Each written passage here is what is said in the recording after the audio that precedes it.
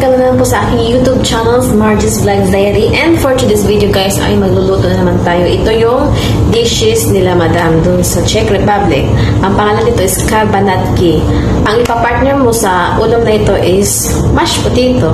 Ganun, ang alam naman yung mga Europe mahilig sa mga ganun mashed potato. Hindi sila masyadong mahilig sa mga uh, rice. Kung kumakain sila ng rice daw, kunti lang dahil hindi katulad sa atin ng mga Asian, mga Pinoy, ang hilig-hilig natin sa rice, di ba? Kahit pa, uh, pabalik-balik tayong kumain ng rice, doon sa, nasasatisfy tayo. So ngayon, bago natin umpisahan ang ating uh, video o vlog, ay mag-intro muna tayo.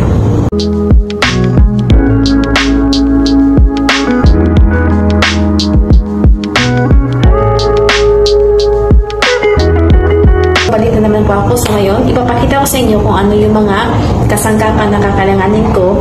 Hindi man ito perfectly na andito lahat. Kasi minsan nakikita ko yung amo kong babae na gumagawa nito, hindi naman siya perfect na lahat ng ingredients andun. Pero yung resulta niya is pare-pareho lang. So ito napapakita ko na. So guys, onion tsaka garlic, kailangan ganito yung hiwa niya. Maliit kasi imimix natin siya sa manok.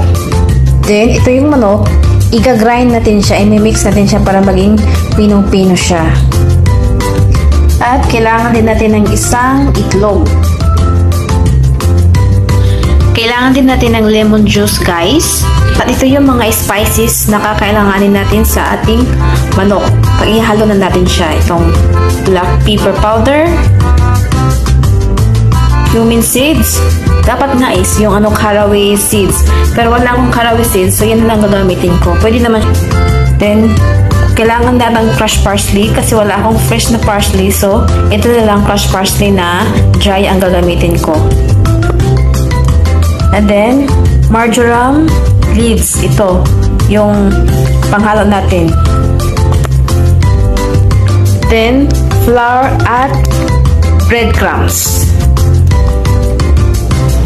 Asin, lalagyan din natin siya ng cheese. Mozzarella cheese. So, ayan na yung potato. Lulutuin ko na siya. Tapos, imamash natin mamaya. Pag maluto na siya. Lagyan ko siya ng cumin powder at salt. At guys, lalagyan din natin siya ng toast. Basain yung toast tapos iwawain ng maliliit nung pino tapos ilagay mo dun sa manok.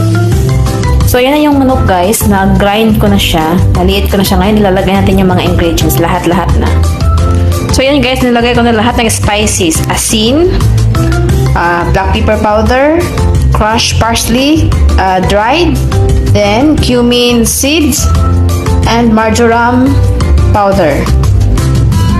At saka, ilagyan ko din siya ng cumin powder kasi meron ng cumin powder. Lagyan ko din siya ng cumin seeds pero kunti lang.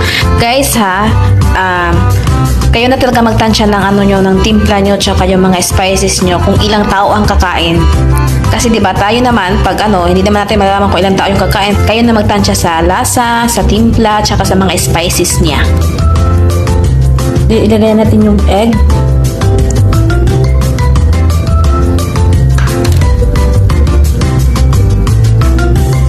Onion. Lahat na ha. garlic. At kunting lemon lang para hindi masyadong ano, maasim. Then i-mix natin ng mabuti. Then lagyan din natin ng kunting flour. Pansyahin lang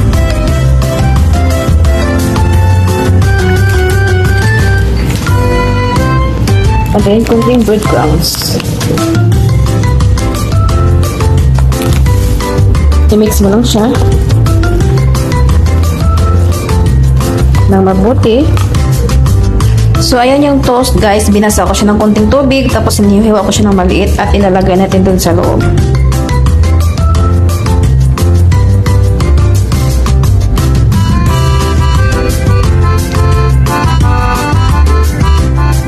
At lagyan din natin siya ng konting olives oil guys. If wala kayong olives oil, pwede din na yung normal na mantika lang. Kunti lang. Para hindi siya ano, masyadong dry.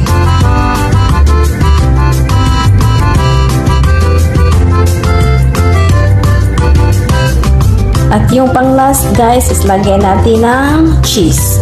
At i-mix lang siya.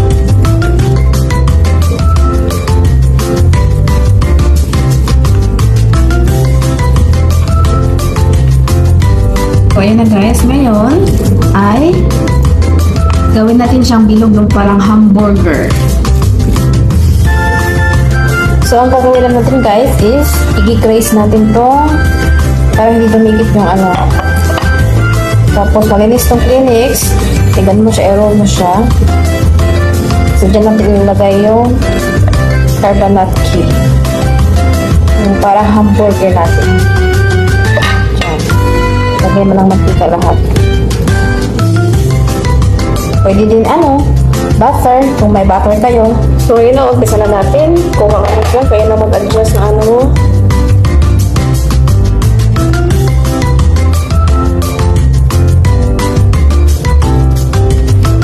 No? Kayo na mag-adjust kung anong sizes na gusto yung gawing circle.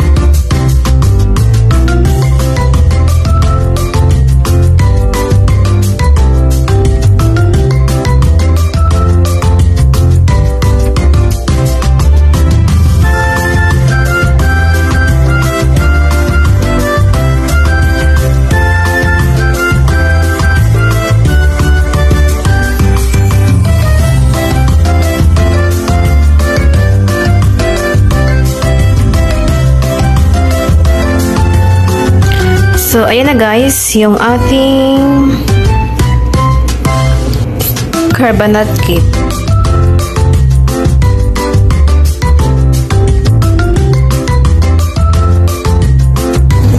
So, ayan guys, ipa-fry na natin yung ating ginawang carbonate cake. Medium uh, fire lang siya para hindi masunog at saka maluto ang loob niya. Balik rin lang siya pag nag-golden brown dun sa ano. Una mong pag-fry, then